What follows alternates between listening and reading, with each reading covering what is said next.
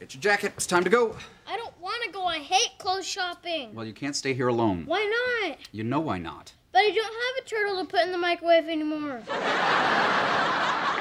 Get your jacket. Fine, I'll put on my stupid jacket, we'll get in the stupid car, and we'll go stupid clothes shopping. Hey, don't talk to your stupid father like that.